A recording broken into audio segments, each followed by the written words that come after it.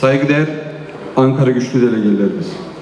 Burada anonim şirket Ankara MK Ankara Gücü Spor Kulübü Derneği'nin bir malıdır. Ankara Gücü Spor Kulübü futbol şubesini yani profesyonel futbol şubesini anonim şirkete dönüştürecektir. Bu anonim şirket siz delegasyonun Ankara Gücü'nün MK Ankara Gücü AŞ'dir.